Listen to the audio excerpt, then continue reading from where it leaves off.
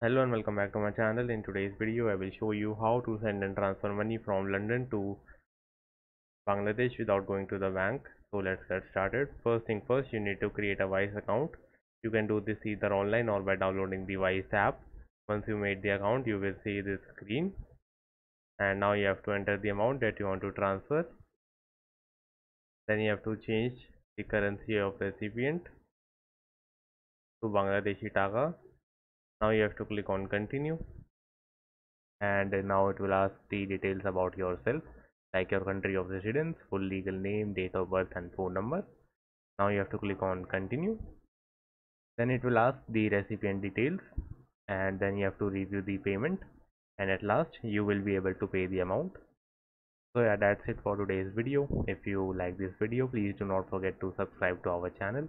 Thank you